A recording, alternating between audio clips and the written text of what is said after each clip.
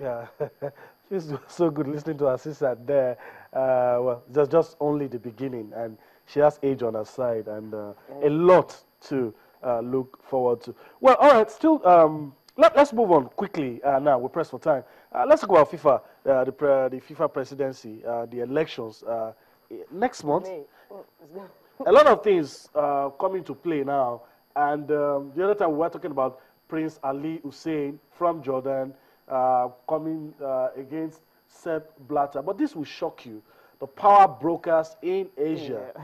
more or less like saying that Ali is on his own. Because this is what it looks like. Mm, the whole federation giving its support to Sepp Blatter. But, but something you have to look at now, the, the, Australian FA actually said that they've not really come out to say who they were going to support. And if you look at the fact that they said since, since 2013, They've been, they had a meeting, they said they were going to back Blatter. 2014, they did that. So they cannot change their mind. And we check Prince Ali just announced that he will be competing just this week. So at the end of the day, he discovered that he's practically on his own, just like you said. Okay. But with him, with Sepp Blatter having the backings of Asia, which actually happens to be the biggest power in, in, in, the, in, the, FIFA. And of course, you're having Africa also supporting him. I think it's just, maybe Ali will have to look at CONCACAF and maybe, the, the, and of course, the European body who really doesn't want Sepp Blatter anymore. I think that's where the fight is going to come up. All right, yeah, um, I, I, agree with Cecilia. It, it's, it's, a game of numbers, and um, I, I, really feel sorry for uh, Prince. for Prince Ali. Uh, if if your federation, it means that you have, I mean, no political weight at home. Well, let's listen to the guys from from Asia. Uh, like Cecilia just told you, they said they've decided a long time ago that they were always going to support Sepp Blatter, and that has not changed. So let's listen to the guys. We'll come back for more on Sports this morning. I think yes. He, he, he, should. And also in, in AFC General Assembly, we, we had in Kuala Lumpur before uh, in, in, in uh, 2013, and last General Assembly was in Sao Paulo. Both of them, we decide in General Assembly to vote for Blatter. So I, I, I, think now Prince Ali, he have to consider that and he have to think about uh, uh, this matter a lot. You know, I don't know, and I cannot speak only about what my opinion and where my vote will go. And I think I was very clear. Kuwait will vote for Blatter. We are committed. All the member association are committed to that. And from what I heard from them, today and the last few days, they will continue to commit to their promise and word. And this is where we stand. From what I hear, you know, I don't want to give false hopes to anybody. I'm telling you as it is from what I hear from the National Association and their commitment. And I have to be clear on that. All right. Uh, the key people uh, telling us they're behind Blatter. And I must tell you that Blatter has won five elections. Uh, in most cases, it was was always a landslide. At some point, somebody uh, somebody uh, somebody had to step. A, a lot of things. I, am still hoping that nothing happens to Prince Ali. I'm hoping some, some scandals don't, don't come his way. All right, let's go to England, uh, English Premier League. Let's take a look at the fixtures. Matches to be played this weekend. Let me run through this for you. Sunderland takes on Liverpool. Burnley takes on Queen's Park Rangers. Chelsea take on uh, New, Newcastle. Um, Everton take on Manchester City. Uh, Leicester take on uh, Leicester City, that is, take on Aston Villa. Swansea take on West Ham. Uh, these are some of the fixtures. West Brom take on Hull City. Crystal Palace uh, take on Tottenham uh, Hotspurs. Arsenal um, take on Stoke City. And Manchester United take on Southampton. Cecilia, if you were to pick one, I think I'll pick Southampton, Man United. Man United, Southampton, because that's the game you really need to look forward to. I wouldn't look at Everton and Man Manchester City because Everton right now on the downward slide, so that's not focus. But Man Manchester United and Southampton, remember what Southampton did to Arsenal? Yeah. You know, when they went to uh, at St Mary's. Now, looking at Southampton, traveled away from home to Old Trafford, and Man City, uh, Manchester United, the record this season has been perfect at home. But I'm looking at Manchester United just winning this one because away from home is really not so good. But playing at Old Trafford, that's actually give them that the advantage guys have heard, to always want yeah, to win. The guys have heard the respect of almost everybody with the way they've played this season. All right, uh, let, us uh, move on. Let's take a look at the transfer center quickly. Victor Valdes uh, uh to Manchester United, Xherdan Shaqiri to Inter. Inter Milan. A lot, a, a lot will happen. going to go to Liverpool. I thought I mean, so I was shocked when Inter made the bid, and of course he went to Inter Milan. I think he wants a regular football, and he feels Inter Milan can give him that. Fine, but the thing is, you're leaving champions, a club that is playing the Champions League, and you're going to a club that might not even make the Champions Europa sport talking about Champions League. I think, I think that's really something. Time. Yeah, maybe that's what he wants, but I think Liverpool would have been better for him. All right, all right. Okay, um, let's move on quickly now.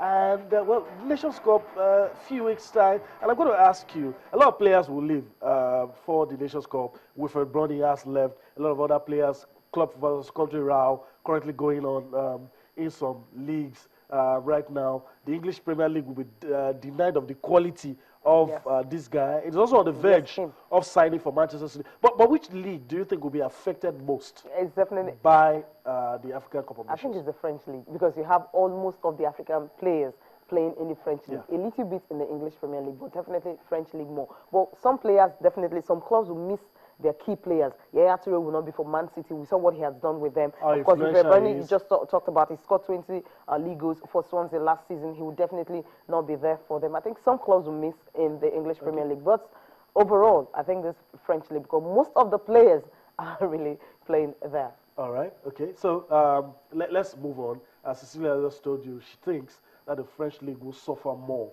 uh, from uh, the African Cup of Nations.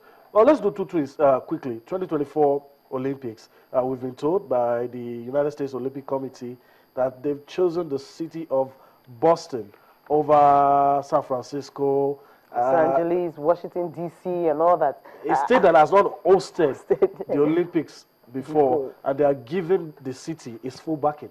Maybe because of the marathon, usually they host the Boston Marathon that they host every year, and it gets to have. They seem to have the capacity to practice to, it to, to, do. to, do. that. I think that's what they're looking at, and also the fact that the last time they the have US some sports teams in Boston already, too. That they can so actually, they are used to sporting events. Maybe that's the reason they're actually picking maybe that. not as big everyone as the expecting LA and of course Washington DC to be one of those cities that they could have picked, but picking Boston 2024. But I think well the city is big enough and of course and they have everything. two two three years to prepare before the whoever wins the bid um, is announced. We, we, we, wish them all the best. Uh, we are hoping to get to a time that in Nigerian city will put in a good bid. I get, I get I, I don't like, you, you don't want to see Cecilia's face when I talk about the Nigerian city, but we'll get there. It, it, it's possible because we checked the last time IOC said in Vision 2020 that we are trying to do a situation whereby two or more cities can come up from a particular country yeah. to host it. So when that happens, I think Nigeria Lagos can name Abuja, Lagos and Abuja like precisely, or Lagos and well, Port Lagos and okay. Calabar. Our, our final take, Novak Djokovic.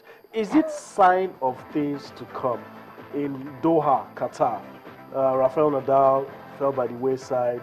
Is now uh, world number one. Novak Djokovic and if you're going to lose, lose to your peers. 25-year-old Karlovic. Ivo Karlovic, I can't remember the last time I heard about uh, Ivo Karlovic, and he lost the way he lost. Once he won the first set, lost lost the two. A, a lot of people have said it's the heat. But the other guy was playing in the heat as well, so I don't understand. Yeah, you know, I think you know, Novak Djokovic is a father right now, so I mean, he's having two responsibilities and under distractions, and I think the heat also play a major factor. But you have to play in Australian Open, and if you can win and get to the finals, then you have to play in the heat. This is just one of the warm-up games. Um, but I'm looking at it, it was quite close because Ivo Karlovic has actually defeated him before in Madrid Masters, yeah. and that was in 2008. But it's been a long time, but defeating him now, and for the fact that I mean, he's 35. Well, I don't know what's going to happen to Novak Djokovic in the Australian Open. I think this definitely be a step for All him right. to really want to prepare more. Okay. That look, he's not there yet, so you really need to go and prepare more for the All Australian right. Open. That's how we have to wrap things up on the show. We hope that you've enjoyed everything we've been able to do. You can join us later tonight when we have more time on our hands for Sports Tonight. So that's how we leave it. Sports this morning comes your way again um, next week. Till then, bye-bye.